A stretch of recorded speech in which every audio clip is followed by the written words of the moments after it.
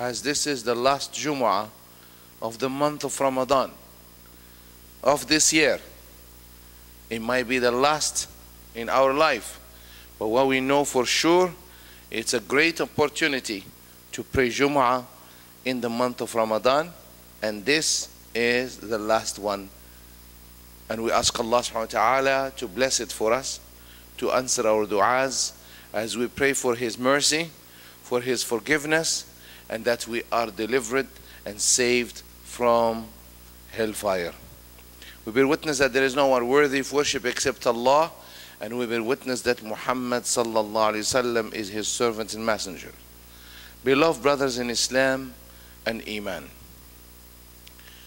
we have focused a lot, all of us, in on the topic of taqwa, because that's what the ayat in chapter 2 about fasting highlighted the most لعلكم تتقون this fasting is prescribed to you as it was prescribed to those before you so you may attain taqwa self-restraint consciousness of Allah self-discipline all these meanings and words are encompassed in the word taqwa and then of course Allah wrapped up the verses the ayat about fasting by saying كذلك يبين الله للناس آياته لعلهم يتقون This is how Allah shows His signs for humanity so they may gain this consciousness of Allah. Having said that, this is the goal. But there is the goal of the goal. There is something beyond that. Why do we need taqwa? Because taqwa will lead us to the ultimate goal. And this is the ultimate, and I repeat, the ultimate goal, which is al qurbu min Allah. Nearness to Allah. The closer we are to Allah, the more peace we feel, even if we are in the worst moments of fear, disruption, you know, whatever phobias are there, we can handle them so long as we are close to Allah. And this is the reason why we fast Ramadan. And this is what we should look for as we bring this fasting to its end. That we become closer to Allah. And if humanity is closer to Allah, and I mean it in every sense of the word, closer because we are coming from Allah. We are from Allah. Inna lillahi wa inna ilayhi raji'un. We are from Allah. We belong to Allah and to Him we will return. And this is where we belong. We don't belong here. We don't belong. Our bodies are from Adam, which means turab, which means clay. That's why our father name is Adam. But الروح ونفخت فيه من روحي Allah put the soul. The body decays, doesn't come back. But the ruh never dies. Therefore, we don't really die when we die. It's only our body that dies. We go back to Allah. Unless, wal'ayadu billah, we are stopped at the gates of heaven and rejected and tormented until the day of judgment, which is known as Adab al Qabr, which is a state, a spiritual state of rejection and torment. Like you wake up from a very bad dream. You know, if you don't have enough oxygen in your brain, most likely you will have adghathu ahlam. You will have bad dreams. The day you have cold, and you have stuffy nose, you will see bad dreams. This is fact. Oh, I saw vision, I see monsters because you need oxygen in your brain. Huh? The day you have low iron, you will see bad dreams. And this is why you have bad dreams. You know, visions are totally different. But that's a different topic. But there will be a bad, very bad, tormenting dream. All of us had that experience. And we say, Alhamdulillah, it was only a bad dream. And of course, there is torment. However, going back, every messenger of Allah and every warith al-Rasul, a scholar who inherits knowledge in uh, al-Anbiya, لم يورثوا دينارا ولا ولا درهما ولكنهم يورثون العلم فمن أخذ به أخذ بحظ وافر that the messengers don't leave behind and prophets of Allah wealth of gold and silver but they leave behind them knowledge and knowledge whoever takes it will have the best portion of this life and the hereafter and hence the closest thing that will bring you to Allah, the best is knowledge. The more knowledge huh, you have of the deen or of the dunya that brings you to the deen, to service, يرفع الله الذين آمنوا والذين أوتوا العلم درجات.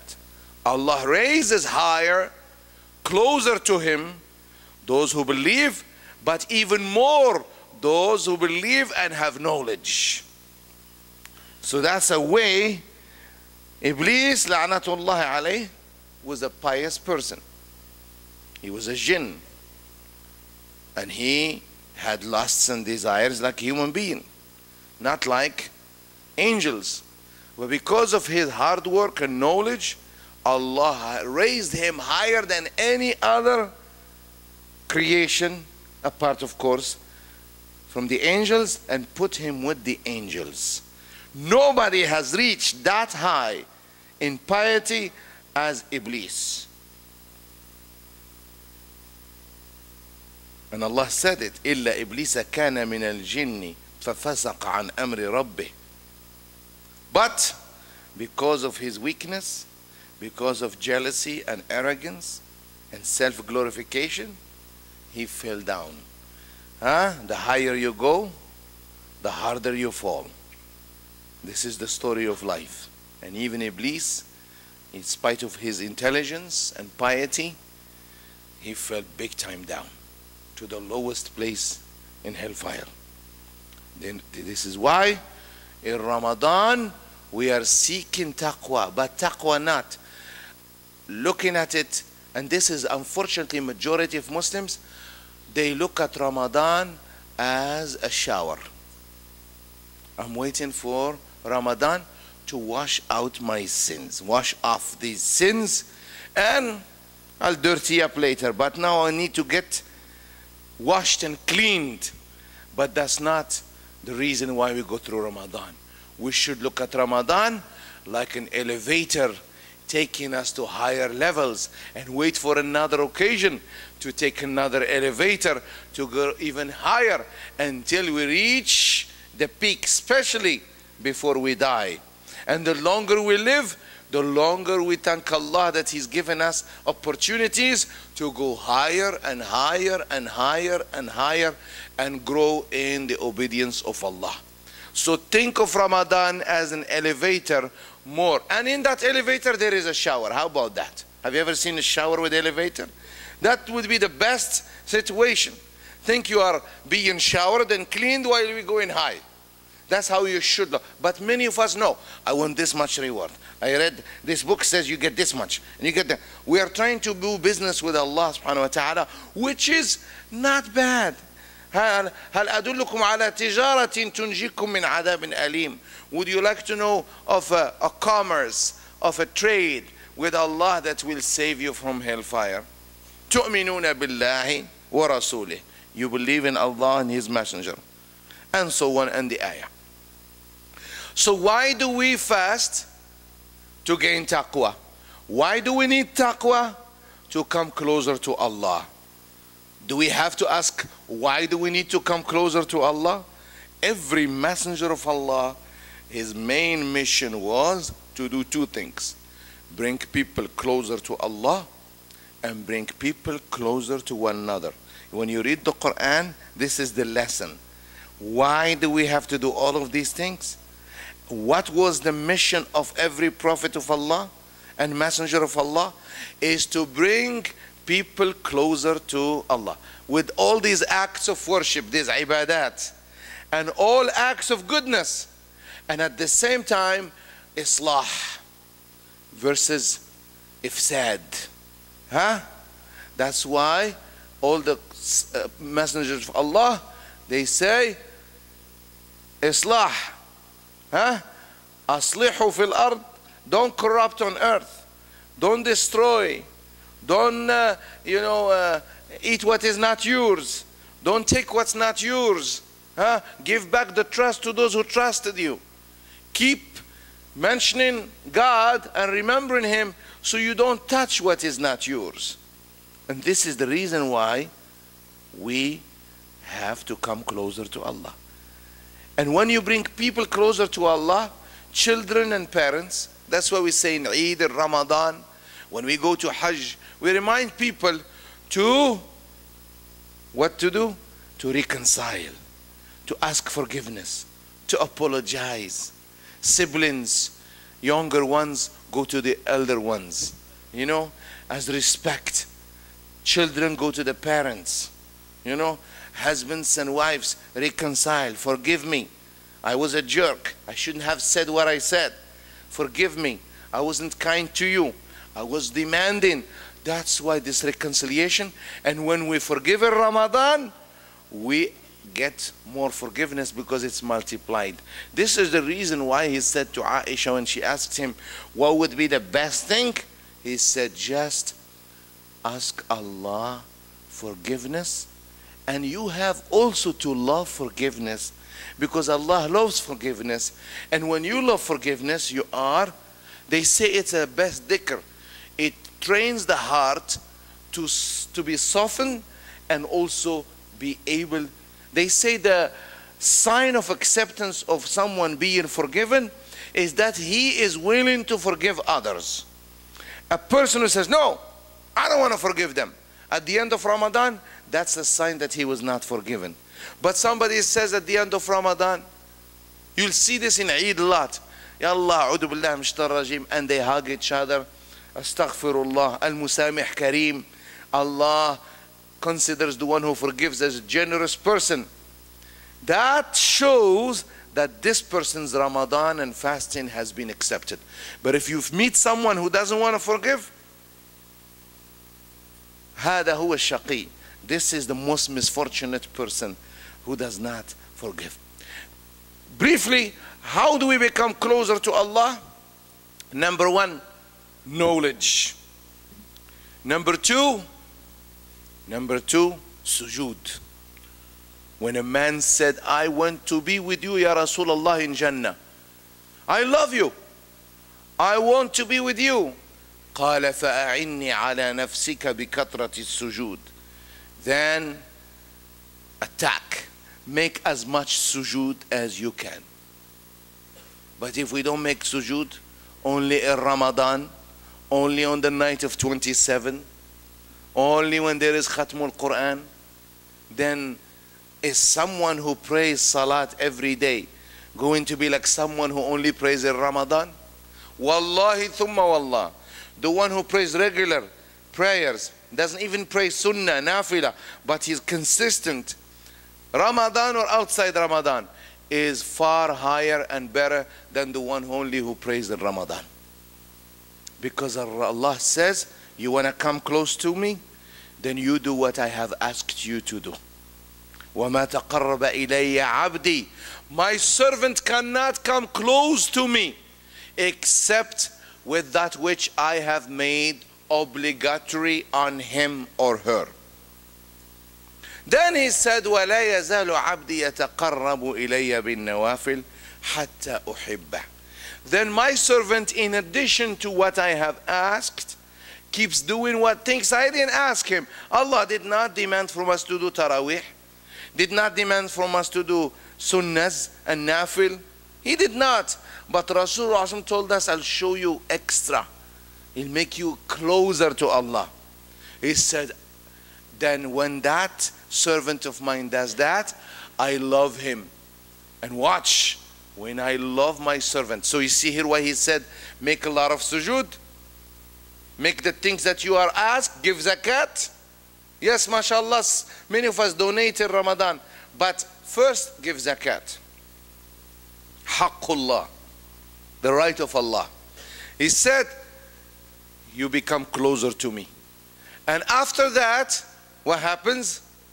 He says, and when I love him or her, I become the hearing with which he hears, huh? the sight with which he sees, the hand with which he strikes and touches and grabs, and the foot with which he walks.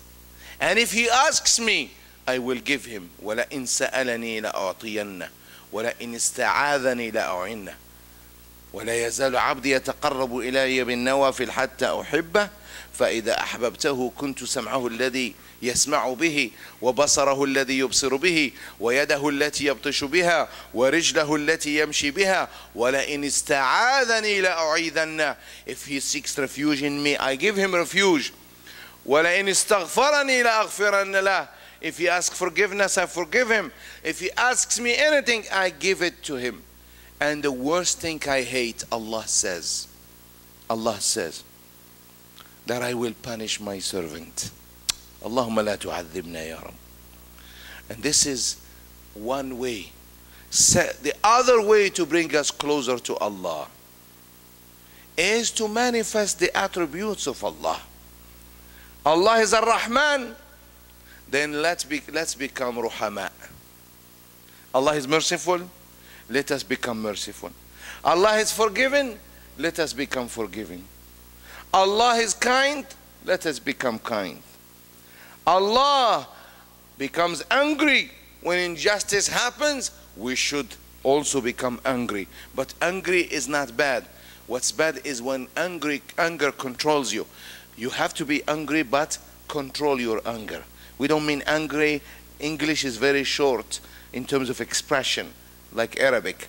Ghadab, it doesn't mean it's a bad thing. Ghadab means when you stand up and you're alert, that has to do with consciousness, you are you don't like the injustice but this means you do not become in a situation where anger becomes like a volcano you know? Yeah? it overspills on yourself on the mountain itself. So it has to be controlled. Anger is good if it's properly directed to do good and change the wrong into right. It is anger that you know that pushes us and trusts us to change. It is anger that makes us stop injustice, but it has to be done properly. Yes, Allah becomes angry, Rasulullah be, was, uh, became angry, but you control your anger. Therefore, we manifest what Allah subhanahu wa ta'ala has, the attributes of Allah subhanahu wa ta'ala. The fourth thing we do, we said knowledge, sujood, huh? bringing people closer to one another, bringing people closer to Allah, and of course, the manif to manifest the, uh, the, the most important thing here is to manifest the attributes of Allah that are beautiful for us. It's not to use dua only, it's to try to be those qualities. Al-jaza'u min jinsil amal. You are rewarded based on how you give. If you are merciful, you'll get mercy. If you forgive, you get forgiveness. If you help the poor, you'll become rich. Huh? Allah will give you abundantly. Look at Abu Bakr as-Siddiq as we celebrate these days, Laylatul Qadr. And we spoke a lot how he saw the Qadr, the value of Bilal.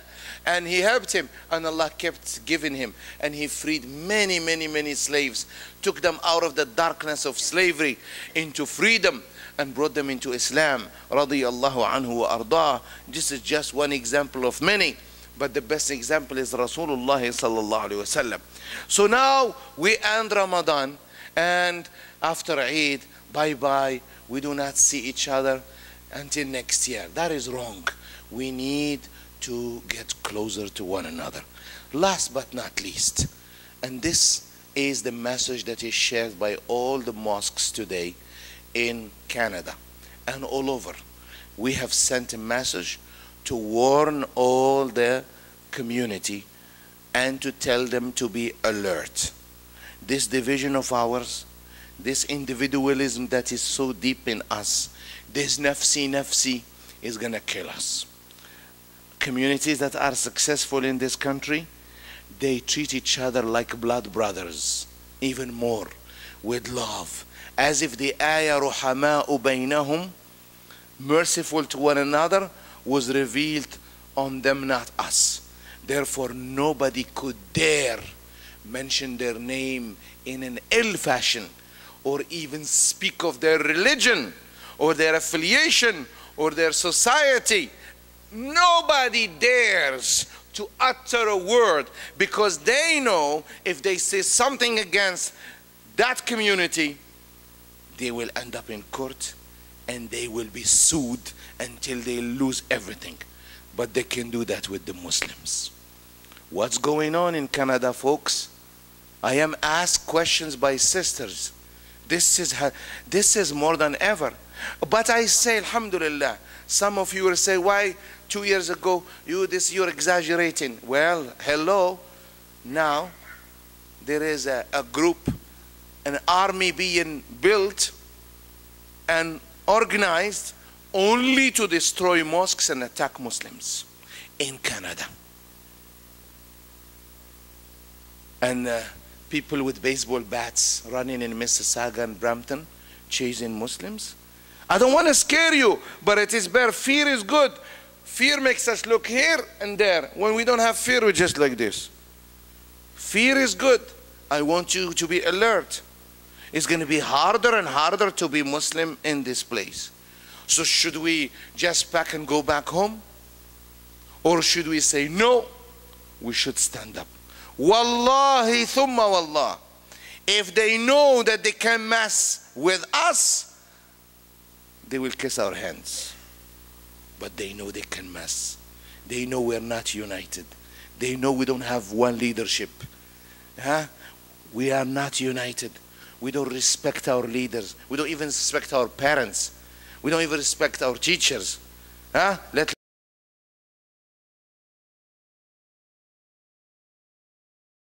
There are leaders who are qualified to be leaders in spite of the fact that they're not imams. I mean community leaders who plan and guide and lead. This is going to be now the topic of every day. They are now attacking everybody. And they are attacking people. Am I talking to the right crowd or wrong crowd? Are you aware of what I'm talking about? Raise your hands. You see, not even 50%. Because in Ramadan, Allah, Alhamdulillah, you're in heaven or you're still on earth. You need to know what's happening. People are being beaten in the streets. Right now, groups are organized. They are talking about removing Islam from Canada and from America. What are you doing about it? They know they can mess with us because they know that when we when one of us is is hurt we turn the other cheek like those three bulls the famous story of three bulls the lion and i like to say that when i see children the lion saw these three bulls brown white and black in arabic we say لقد أكلت يوم أكل الثور الأبيض It's a famous expression we say. I know it is in Farsi and Urdu this story too. The lion saw them in the meadow grazing every day, and he, they were fat and nice, yummy for him. But he can't break that unity. They go together, they stick together. If somebody attacks them, all of them go. It's impossible to break this union. So difficult. And then one day said, divide and conquer. He called the brown bull and black bull and said, if you Listen to me, I have something very important. The hunters are coming tonight. And if you are there, you're black, you can't be seen at night, brown, nobody can see you, but your white brother will be seen from far away. Therefore, if the hunters come tonight, I'll give you the sign, run away. Your brother will call you, ignore his call. Night came, lion waited, and then he called them, give them the signal. They left, and then he attacked the white bull. The white bull said, You are putting yourself in trouble. I'll call my brothers, will finish you. He said, Call them. They won't listen to you. We can do anything to you. You guys are disunited. You guys have too much khiyana, betrayal. You guys stab each other in the back. You guys have no care for one another. You guys are proud of your colors and ethnicity and where you come from. You're proud of your whiteness. He's proud of his blackness. He's proud of his brownness. And only Islam united you, but you are going back to your cheap identification based on color. No. He kept calling, nothing. The lion ate him. After a few days of digestion, and this is what they do all over the world, sucking the blood of poor nations. Huh? They can have enough. He comes again. He calls the brown guy, come, come, I need to talk to you. They're coming. But this time they're coming during the day. If your brother calls you, ignore him. You are brown, you look like the rocks, he can't be seen. But your brother is black, can be seen from far away during the day. So, same story happened. He called his black brother, nothing. His brown brother, nothing. So he ate the black bull After digestion, and these guys never feel full always want to eat. He comes to the brown bull. He said, I am here. What should I do? He said, I was eaten. لقد أكلت يوم أكل الثور الأبيض. I was eaten the day the white bull was eaten. I'm afraid we will say that in next two, three, four, five years. It's getting nasty. You're not aware of that? but hate against Islam. I don't want to get into what uh, led to it. When you have foolish, stupid people, not stupid, worse, stupid is not the word, that's an honor to be stupid for them, who are going on the bridge, running over people, people who are filled with hate, they are taught by some, not ulama, anything but ulama, huh? so-called new scholars of the internet, telling them kill, of course, people will say, what's going on? Like the guy in Mississauga. He saw the news, he came out with a big baseball bat. Show me any Muslim. I will beat him up now. I don't care. They believe that we Muslims who pray and fast and this, they don't know these things. And raise money for hospitals and food bank. They don't see this. They see only the images of violence and stupid parrots. They don't even parrots are better than them. I don't know what the word is for them who are talking about Islam and say, we're going to slit the throat of every kafir. This is what they see. Don't watch those videos. We're going to, they talk irresponsibly. So, oh, that's Islam. Well, we're going to hit them with a baseball bat. This is the kind of reaction, dangerous. When I said once here, three years ago, that this cancer needs to stop because it's spreading, the brother came, how dare you call our brothers cancer? I said, they are your brothers, not my brothers. Go join them. People talk like that. Many times people criticize because no sight. So how can we solve that? What I just said. We need to have think tank, united. If we come closer to one another, we'll become closer to Allah. I don't want to sound pessimistic, I am very optimistic, but with reservation. My brothers and sisters, I know everybody's busy. May Allah make it easy for you. But I want to leave this message. Maybe I have a better message for you at the end of Ramadan next year if we're alive. But if I die, you know, and don't meet you again, you will say he said it. My brothers and sisters, unity of the ummah is a priority. And we can't come closer to one another unless we have love for one another. So let's learn how to love one another. When you finish salat, shake hands and say taqabbal Allah. When you meet in Eid, you hug each other and malaika are saying salam to you. This is the spirit of Ramadan. So why do we fast? So we can become closer to Allah. How do we become closer to Allah? أقرب ما يكون العبد لربه وهو ساجد the closest a person can be to Allah is in a state of sujood where can I be in sujood with the Muslims what's the best thing to bring me closer to Allah is bringing people closer to one another starting with my parents my family my neighbors and closer to humanity. اللهم ارحمنا يا رب العالمين وألف بين قلوبنا واجمع شملنا اللهم تقبل منا صيامنا وصدقاتنا واغفر لنا اللهم إنك عفو تحب العفو فاعف عنا استغفر الله إنه الغفور الرحيم